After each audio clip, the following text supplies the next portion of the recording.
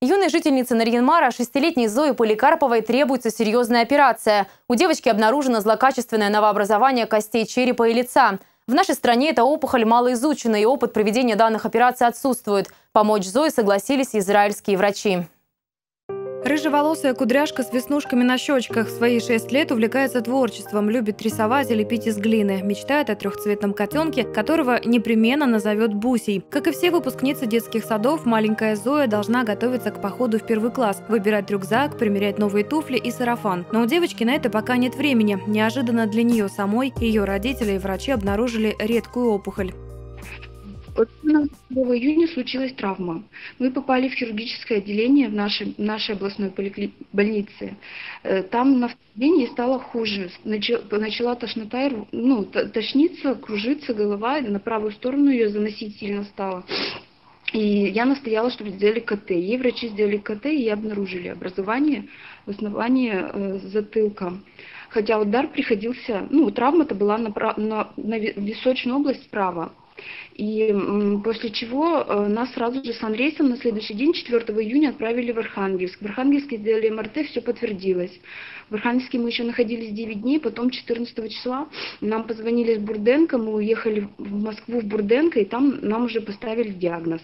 Хотя был предварительный диагноз поставлен э, Бариновым нейрохирургом в Архангельске ну, что данное образование, вот он название сказал. И уже в Бурденко нам сказали, что нужно операцию в два этапа. Первый этап они сказали будет проводить в ЦИТа, устанавливать пластинку на основании черепа, а второй этап потом через 12 дней, то есть ребенку было сделано два наркоза, а второй этап уже а, удаление самого образования Бурденко. Нам назначили на 2 июля а, и отправили обратно домой с Москвы.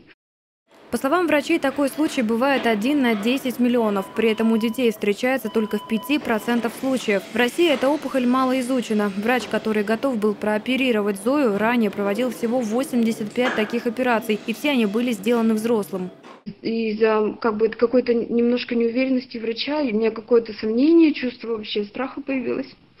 В итоге связалась с клиникой в Израиле. В Израиле нас убедили, что 90% они нам дают, что все будет хорошо.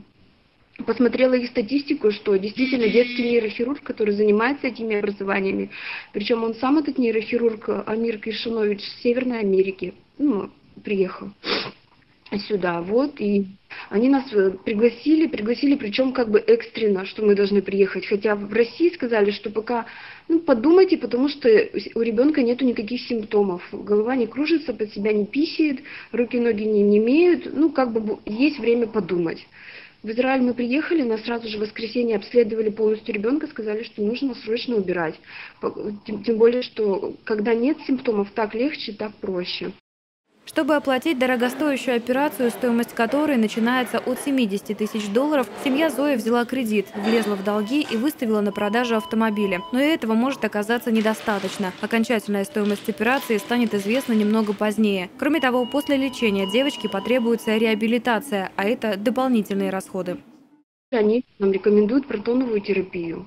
Э, здесь с Израиля людей отправляют в Швейцарию. Мы рассматриваем Санкт-Петербург, надеемся на квоту от округа, потому что протонная терапия на сегодняшний день самая дорогая ну, из всех видов облучения. Вот. И дальше э, Зоечке придется носить корсет, ну, корсет, то есть галлоаппарат для фиксации шейного отдела на протяжении трех месяцев. Потом его нужно будет ехать снимать. Помочь семье Людмилы и Сергея Поликарповых собрать необходимую сумму денег для лечения и реабилитации маленькой Зои может каждый. Для этого достаточно сделать перевод на банковскую карту Людмилы или ее мамы, указав посильную для вас сумму денег. Эту информацию вы сейчас видите на своих экранах. Операцию Зоя израильские врачи проведут уже завтра. Ирина Никешина, Андрей Безумов, телеканал «Север».